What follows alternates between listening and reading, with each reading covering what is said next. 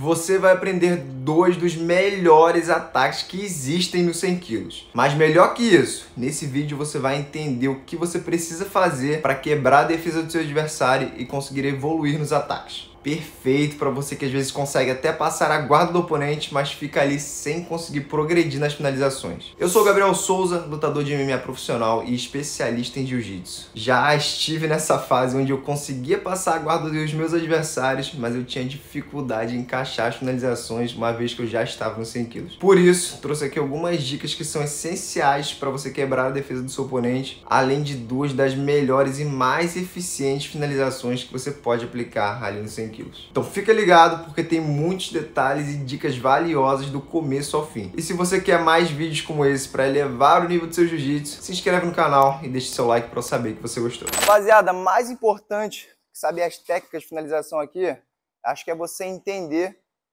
como seu adversário se defende e como você vai fazer para ultrapassar a defesa dele para conseguir fazer seu ataque. Então, acho que o primeiro ponto que vocês têm que se concentrar aqui, chegando na lateral do oponente, antes de se preocupar em finalizar, é se preocupar em matar esse braço dele aqui do mesmo lado que você, que é com ele que ele se defende. A maior parte da defesa dele vem desse braço aqui. Eu vou chegar, ele vai colocar, ele vai estar tá colocando esse cotovelo aqui no meu, no meu quadril, segurando meu quadril aqui para não conseguir me movimentar para um lado para o outro e evitando que eu consiga, que eu jogue meu peso aqui em cima dele para atacar o outro braço. Então, chegando aqui nos 100 quilos, a primeira coisa que você tem que me preocupar é matar esse braço dele aqui, porque é a maior, a maior defesa que ele tem. Esse braço dele, quando ele coloca no meu quadril, cotovelo no meu quadril, segura aqui a mão no meu quadril para não conseguir movimentar. E com o cotovelo, ele consegue aliviar um pouco o meu peso aqui, minha pressão em cima dele, evitando que eu consiga progredir nos ataques no outro braço.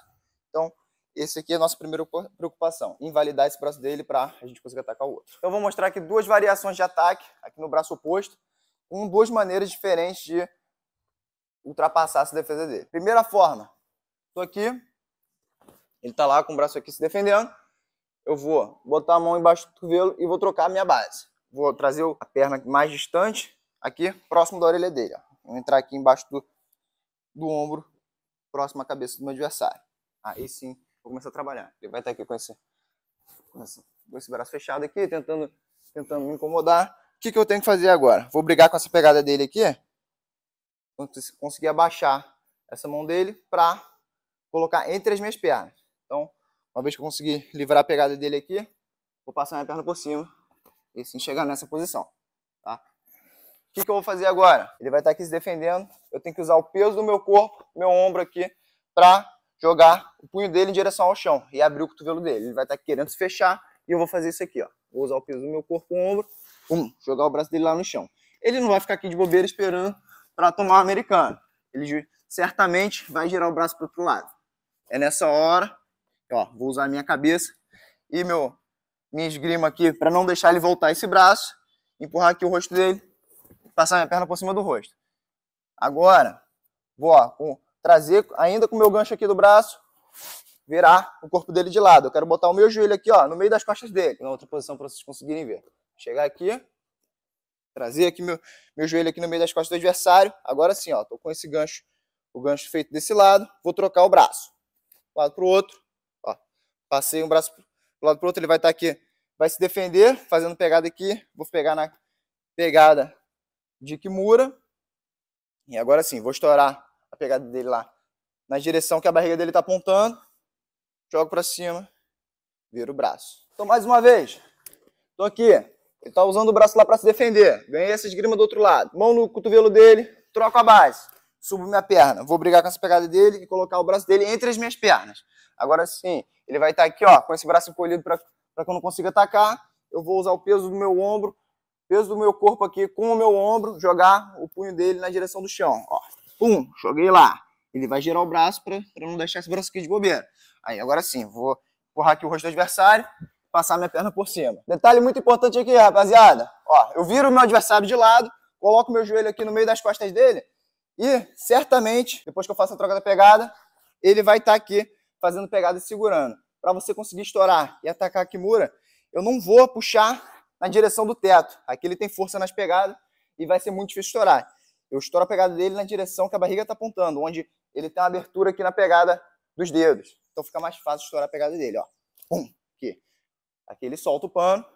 Não vou trazer rente aqui porque ele vai segurar de novo. Então, ó, levo para cima, giro, aí sim eu abaixo lá para trás. Ou eu sei que você está aqui porque quer se destacar nos treinos e alcançar os seus objetivos o mais rápido possível. E foi pensando em você que preparei um material onde reúno todas as técnicas que me trouxeram os melhores resultados, tanto nos treinos quanto nas competições ao longo desses 13 anos no jiu-jitsu e no MMA. Então, se é isso que você está procurando, o link para conferir esse material é o primeiro aqui na descrição do vídeo. Te vejo lá. Agora, a segunda opção de ataque. Eu vou matar esse braço de defesa dele de uma forma diferente. Ele vai estar tá aqui. Em vez de eu trocar minha base para entrar a minha perna mais longe embaixo do braço dele, eu vou, ó, de novo, calçar aqui o cotovelo dele com a minha mão, fazer uma pegadinha aqui, mão aberta, e eu vou recuar meu joelho, o próximo que está próximo da cabeça dele aqui, e entrar embaixo, embaixo do cotovelo dele. Ó. Tem que fazer isso. Quero esse, esse meu, meu joelho aqui, quase que encostando na cabeça do meu adversário, e meu quadril aqui embaixo do ombro dele. Beleza? Novamente, ele vai estar tá aqui com esse braço fechado aqui, se defendendo. Vou usar o mesmo artifício. Jogar o peso do meu ombro aqui, ó. Pegadinha no ombro dele, peso do meu ombro no cotovelo.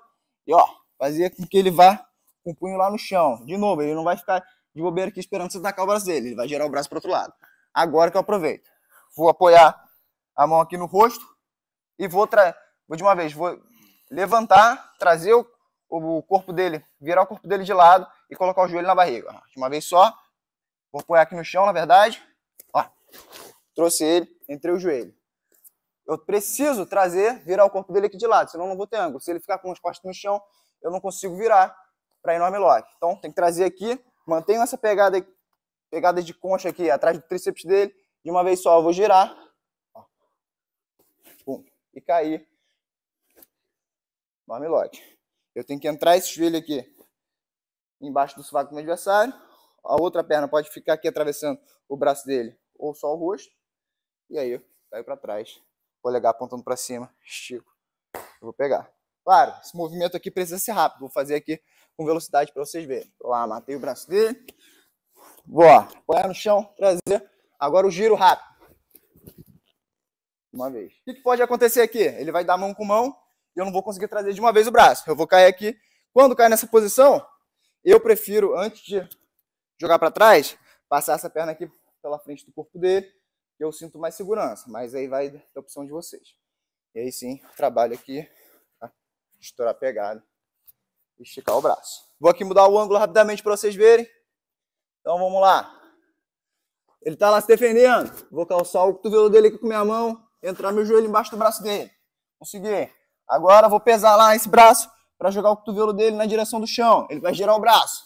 Agora assim, ó, põe a mão no chão, trago ele, faço ele virar de lado, joelho na barriga e agora sim, vou fazer um giro rápido aqui, sem deixar com que ele volte as costas para o chão. Girei.